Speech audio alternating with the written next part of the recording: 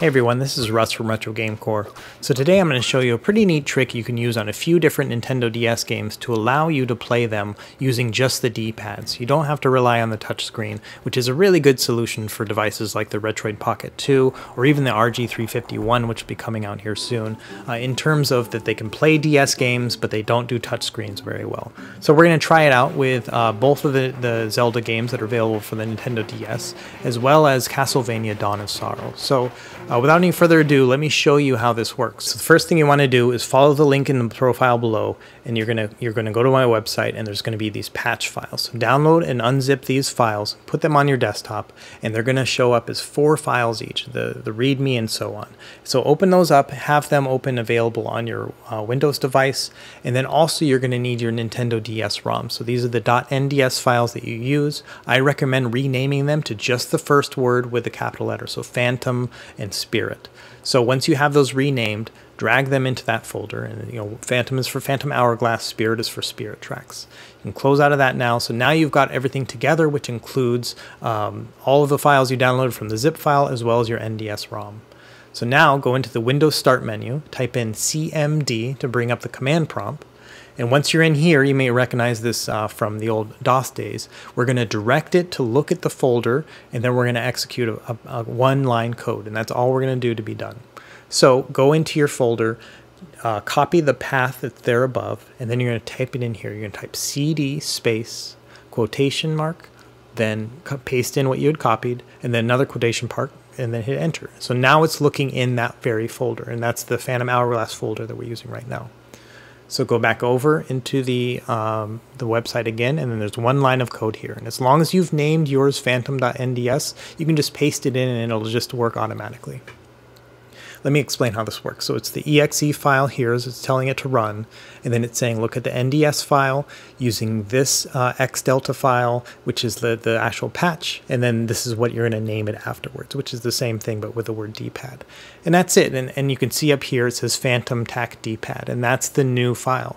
And, and, and it's perfectly done now. So let's do it again with the other ones. We're going to copy the path, CD space quotation mark, paste it in, quotation mark again, hit enter. Okay, now we're looking in the Spirit Tracks folder. Same thing here, you know, we have it named spirit.nds, so you can scroll down a little bit more and you'll find that code, so just paste that code in there. And same thing here, it says use the execution file, spirit.nds, using the patch file, and then name it spirit.tacdpad.nds. And once it's done, you can just hit enter and there you go. You see how it just appeared?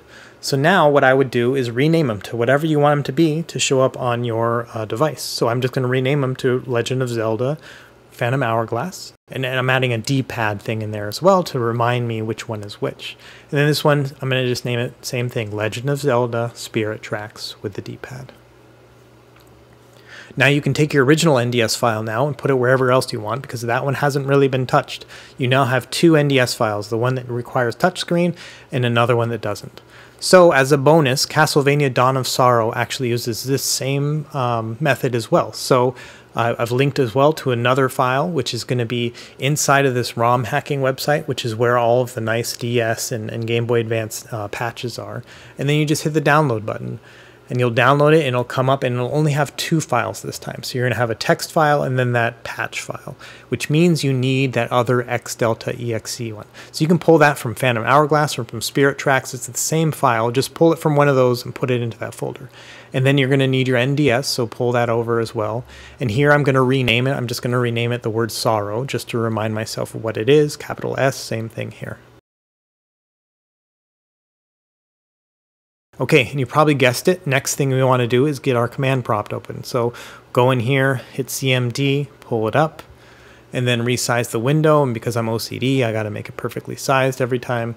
Okay, same thing here. We're going to get that path, copy it, CD space quotation mark, paste it in, quotation mark, enter, and now we're back in that folder.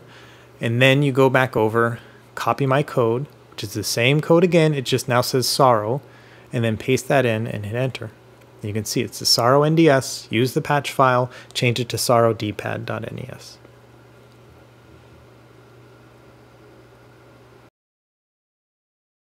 Hit enter. and then wait a second, and there it is, Sorrow.dpad. So let's try these games out and see how they work. Okay, so first off, let's go and try out uh, Phantom Hourglass. So start the game up. And there are still moments where you need to use the mouse cursor in these games. It's not a perfect patch. It's not everything has been fixed, but all of your movement has been fixed. And so that one plays really well in that sense. Like so for example here it says touch screen, yeah, you need to go into mouse mo mode and touch the screen. And same thing here when you're like selecting your file, you're going to need to be in mouse mode in order for it to work.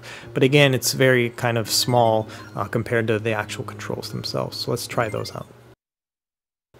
Okay, so here we are with the game after 10 minutes of cutscenes, and you can see uh, it's playing well. I'm just using my D-pad to control right now, and like right here, if I want to talk to a guy, I just hit A button, and look, he says, "Oh yeah, tap on the, the tap on me," and that's how you talk to me. I didn't tap at all. I just used the A button, and so it's been patched over. It's the same exact game, but now you can use movement within it, so it's pretty neat.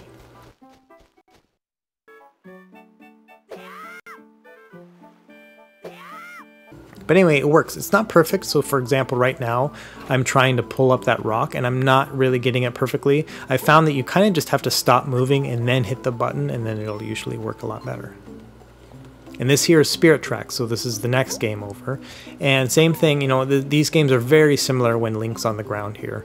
Um, but let me show you there's a train mechanic in this game, which is kind of like this puzzle slash action mechanic, which is kind of neat. So let me show you how this works. So this one you actually need to use mouse mode because you got to pull these levers and the levers are not mapped to the D-pad as far as I could tell. So you want to get into mouse mode and you'll actually switch them over manually. And you can see here, I'm, I'm over here switching things over.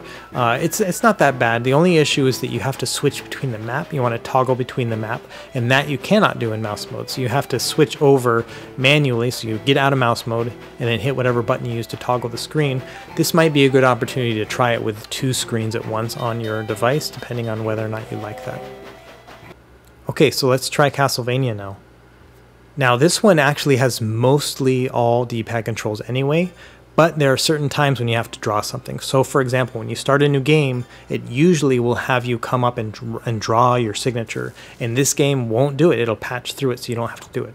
As well as when you are fighting bosses, you have to draw these runes on the touchscreen. So they've eliminated that requirement out of the uh, game itself. So again, just an, an, a more simple, easier way to play through this game um, that really benefits uh, from not having a touchscreen. Okay, so that's it for this video. Uh, be sure to leave a question uh, in the comments below if you have any questions. And uh, I'd love it if you liked and subscribed. But we'll see you next time. Happy gaming.